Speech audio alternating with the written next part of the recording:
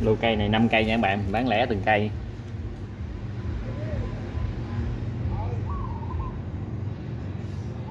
Cái này cái trực biên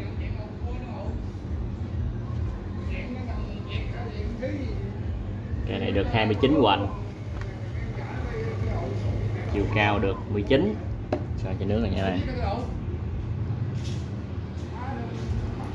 Thì số 1 nha bạn.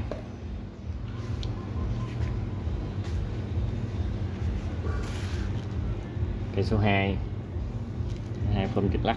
Mấy ngày mình mới gọt à. Bứng dưới gọt. Chưa té keo đã cho khô khô tới té keo.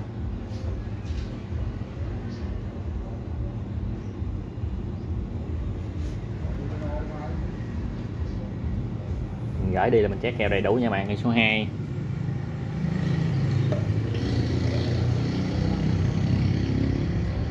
được 27 hoành. Chiều cao được 14 cây số 3 số 3 nó có cột cành sẵn.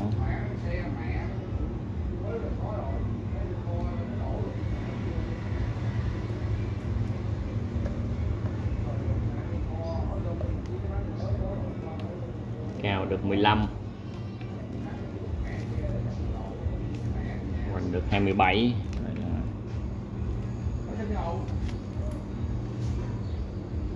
số 3 lô nuôi mặt khỉ lá lớn nha bạn. Nuôi khỉ cầu công, nuôi công, nuôi khỉ lá lớn. Số 4 thì số 4 cái phơm thiên nhiên.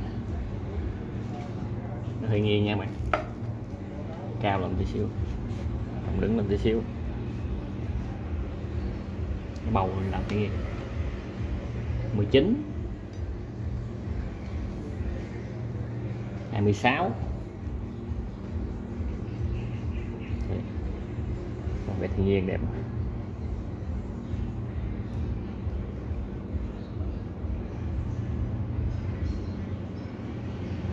Điều số 4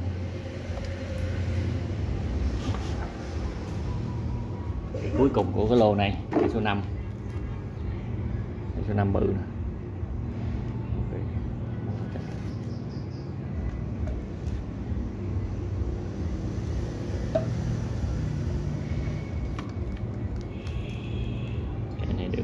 18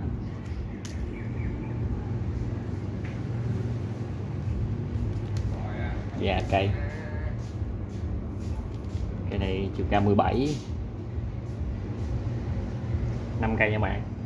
Rồi 5 cây.